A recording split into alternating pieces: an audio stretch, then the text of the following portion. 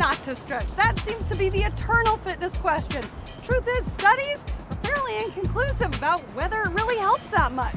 But as someone who exercises every day, I can tell you I can't function without a few key stretches in my life. You want to make sure that you stretch after you're warm, after you work out. You never want to stretch cold muscles. This is one of my favorites, whether I'm in a busy airport or taking the kids to soccer. I put my heel up onto a flat surface and then straighten out my back leg and that gives me an incredible stretch through my calf, through the back of my thighs, all the way up through my low back. From here I move on, put one foot on top of my opposite thigh and I just sit down in my invisible chair. And if you're holding on to something, you can really lean back into it. You get a stretch not only on your hip and your your uh, gluteus muscles, but also all throughout your back as well.